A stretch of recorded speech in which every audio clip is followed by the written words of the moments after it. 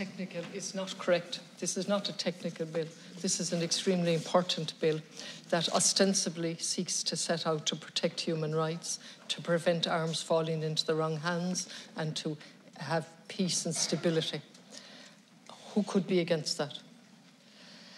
However, many of the things have already been, been said by Deputy um, Richard Boyd Barrett, and I agree with everything he said. I must, might just put it slightly differently than he.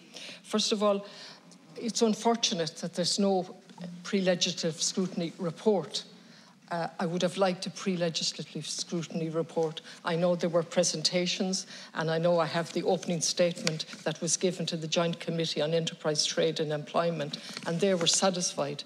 But as I understand it, it was a one-day, uh, um, and I understand how difficult uh, the, the onus of work on committees. But ethics comes into this and ethics has been mentioned by one or two TDs. And where is the ethics where is the forum for discussing the ethics in relation to what we're talking about here? I would have thought the pre-legislative scrutiny on the committee would have been the time to tease out what we were doing here in terms of the new legislation which we were bringing in, which we've no choice, and I'll come back to that, and the implications of that and which countries were singling out and which other countries were not singling out, and so on and so forth. I don't see the word ethics mentioned anywhere, and I think there was a golden opportunity lost. And that's brought home to me all the more because in the end of the opening statement that was given on the 29th of September 2021, the Department has been engaging with the Office of the Attorney General, including the Office of the Parliamentary Counsel, on the drafting of the bill.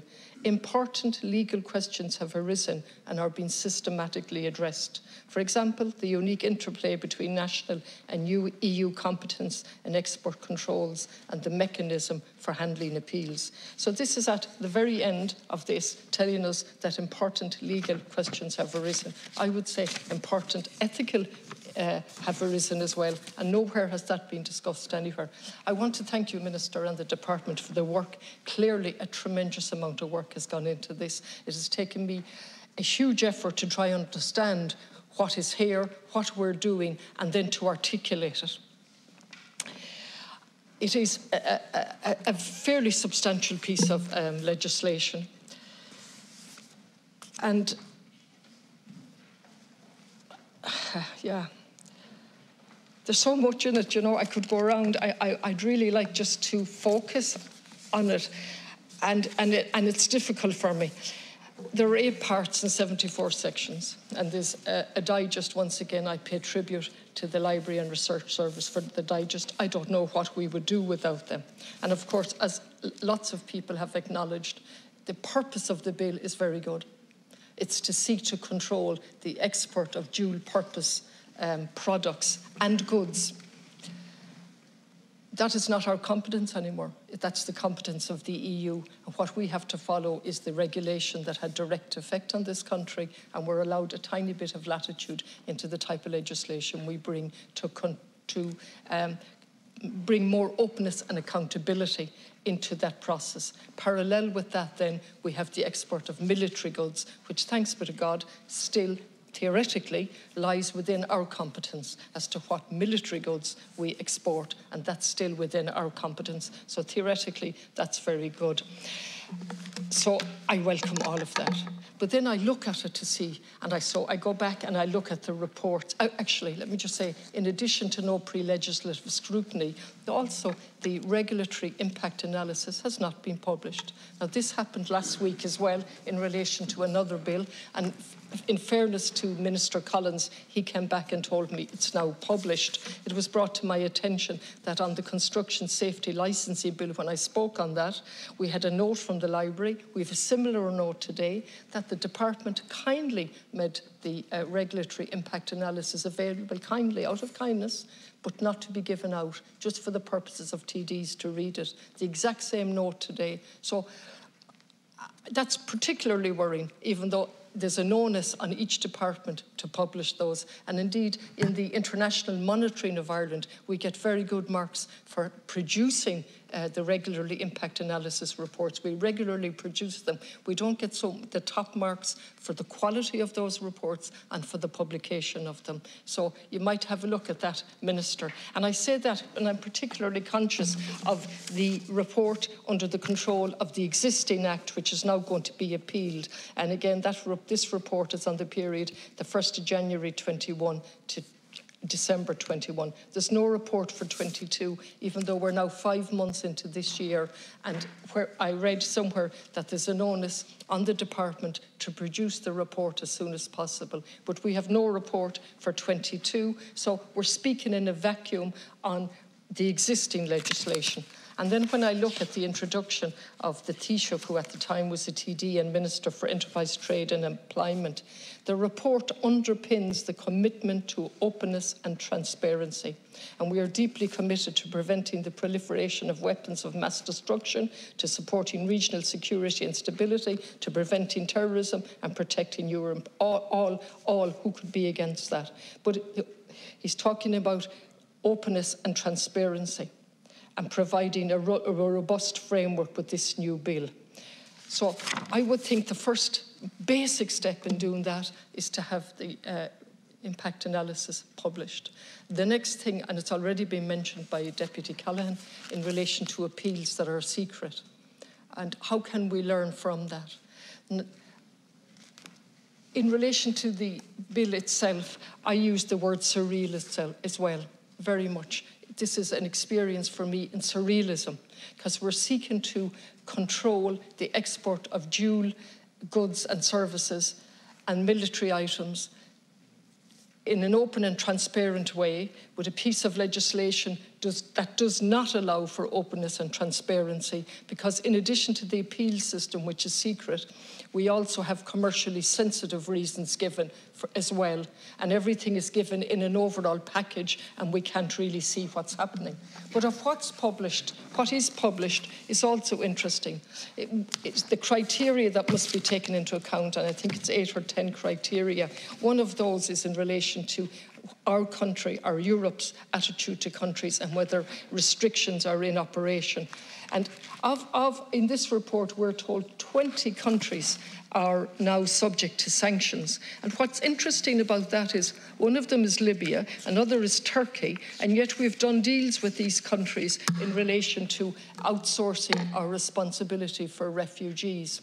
And then, as well as what's interesting and what's included here, also interesting is what's not included here, the countries that are not included. Clearly, um, Israel is not included.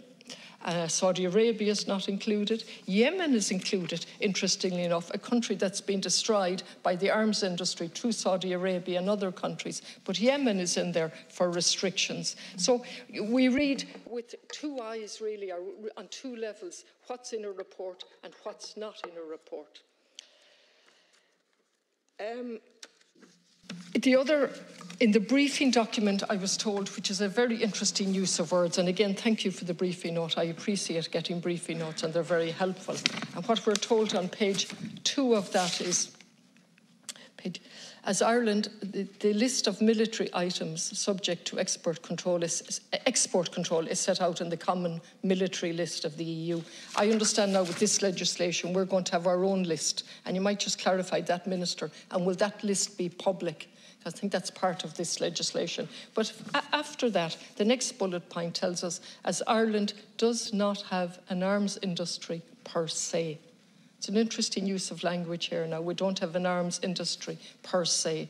The military exports from Ireland are predominantly ICD components and mechanical devices of military standard. So per se, because in a very interesting article by Conor Gallagher, way back in April 22, he focuses in on one company which is doing very well, a tech startup, and um, they're making software, which he points out is of great interest to militaries, namely sophisticated virtual reality training and mostly very useful stuff for allowing engineers our offshore wind engineers to fix turbine blades hundreds of feet in the air, to, for peacekeepers to spot landmines, and so on. And it's one of the hundreds of companies, and I think you might have the up-to-date figures. There are over 500 countries, I think, in this country uh, exporting dual-use components. And the, the uh, in this particular article, which is uh, very good in a sense because it's zoning in on the very good startup company and how well it's doing, but how it can be used for other purposes. Now, this he he he goes on to raise the uh, the points out that the co-founder and the director of that particular company, a former cavalry officer, uh, who also set up the Irish Defence and Security Association, said talked about ethics. And I go back to what I said. Where is the forum for discussing ethics in relation to this? Um, in, in 2020, according to this article, despite the pandemic, 476 dual-use export licenses were issued. And each year they have increased. I don't have the 22 figures, but I do have the figures in this report for 21, and they're increasing every single year. 530 individual dual-use licenses were issued in 2021, an increase of 11%, and so on. So we're bringing in legislation to monitor, control, and bring in a more effective, dissuasive penalty system.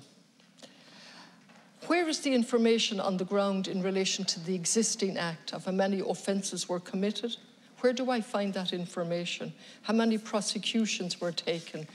If, if, if, not, if there weren't criminal prosecutions, how many other civil um, actions were taken in relation to. I would like to know that type of information. I appreciate it's quite clear that we have obligations under uh, Europe and the direct action effect of the regulation. But to analyse this properly, we need maximum information. And being told something is commercially sensitive is just it's not helpful to openness and accountability. I sat in that chair this morning and various TDs were asking about openness and accountability and how we're, we've committed to that to some international body. So this is one area where we need openness and accountability in relation to what we're doing. And of course, we're bringing this legislation in at a time where von der Leyen makes a mockery, really, of peace as she talks about increasing the amount of money, our money, going to the arms industry, the military industrial complex that will make the world not safer, not safer, in a mentality of them and us.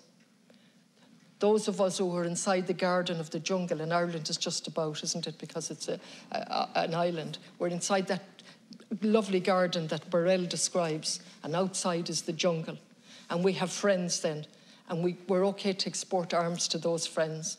We're okay to talk to Israel, notwithstanding that Amnesty have said they're operating an apartheid regime. But we don't talk about that because they're our friends. Saudi Arabia, semi friends, so we're very careful there as well. But we'll use demonize and use words that demonizes countries when it suits the narrative. And I have a great difficulty with that. The invasion of Ukraine was wrong, unacceptable, illegal.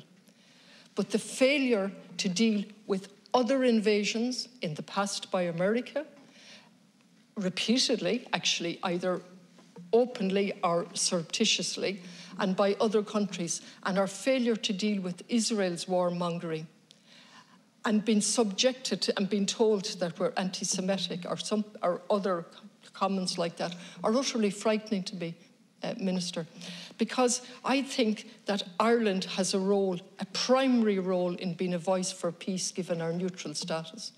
And slowly that status has been taken from us.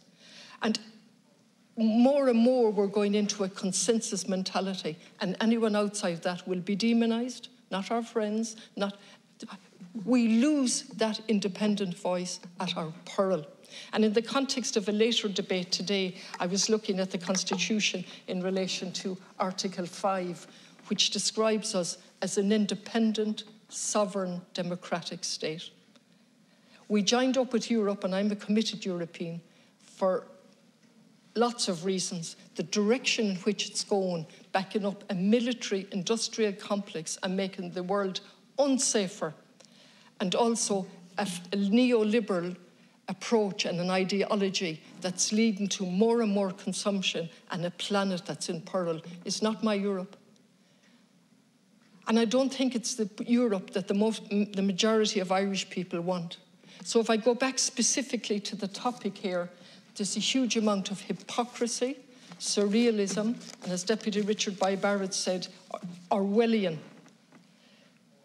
That we're looking at controlling this in a little bubble, but not looking at the bigger bubble where the industrial complex, the military industrial complex, is gaining enormous power with our money. It is impossible for me as an elected TD to follow the amount, the change in language where we now talk about peace enforcement and peacekeeping facilities. And we train the Ukrainian soldiers over in Cyprus, but we're not breaching our neutrality.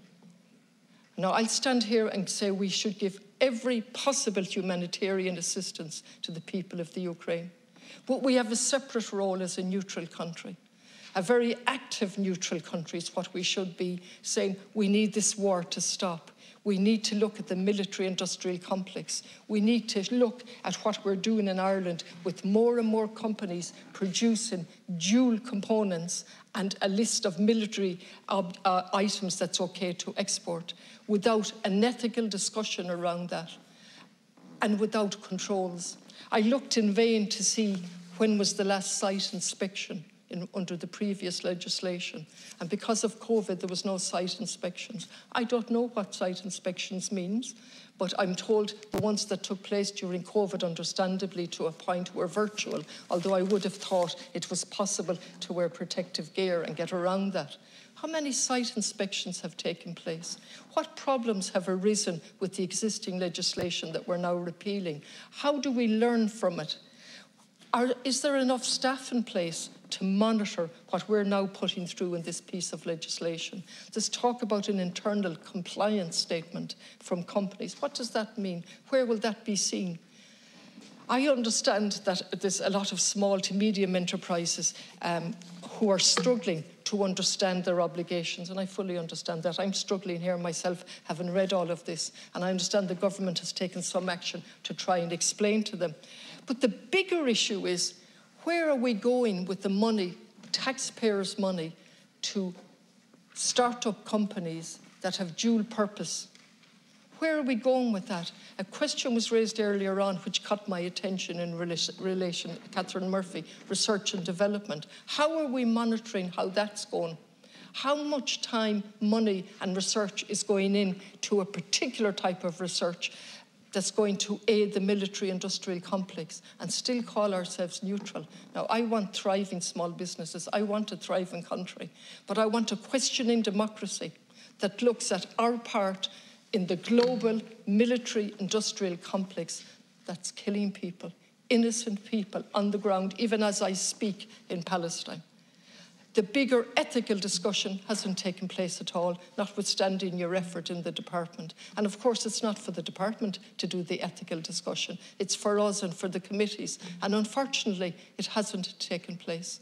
So I have serious questions about the surreal nature of what the government is doing, albeit to comply with our European obligations. And if we, we have to do this. The least we might do is making it as open and accountable as possible. Will the military list be published? What type of inspections will take place? How, how does that happen? We know from the health and safety going back in relation to the meat plants, the problems that were there in terms of lack of staff and how it was carried out. This is far more complex and equally as serious, and I have no idea how that will be done.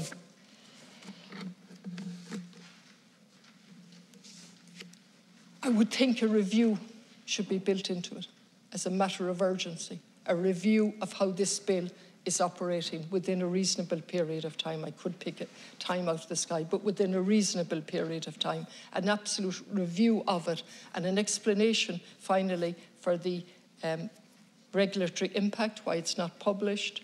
And there was one last question in relation, oh yes, the reports Why is there such a delay on the reports? Why do we not have 2022? And why was the report for 2021 on this very important issue not published for a solid year from uh, until the end of the year when we got it? Or meeting back.